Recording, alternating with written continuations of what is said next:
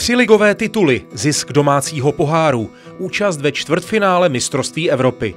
To jsou největší životní úspěchy Milana Petržely. 33-letý záložník Viktorie Plzeň k ním teď přidal další.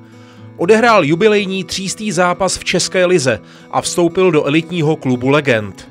Jeho kariéra v naší nejvyšší soutěži odstartovala na podzim 2003 v dresu Slovácka – Hned ve druhém zápase skóroval do sítě Sparty, která ho později zlákala do svých řad. Vyzkoušel si také angažmá v Jablonci a v Bundesligovém Augsburgu. Nejvíce se ovšem proslavil na západě Čech, kde patří i v kristových letech k oporám základní sestavy. Dribler vlastně dokáže obejít několik hráčů, což, což bych třeba taky někdy takhle chtěl udělat, ale zase já mám jiné přednosti, ale je mu, je mu hrozně prostě rychlej hráč a musím říct, že i na něj jsem jednou hrál a bylo to hrozně nepříjemné, že mě tam motal. tak s Milanem, s Milanem uh,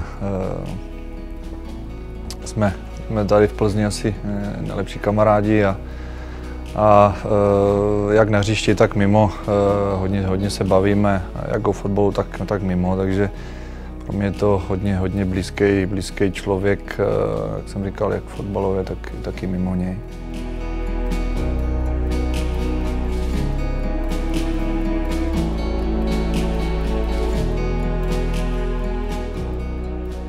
Takže aby mu taky drželo hlavně zdraví a aby si užíval fotbalu do kartoden. Třeba ta čtyřstovka ještě není to až tak daleko, takže uvidíme.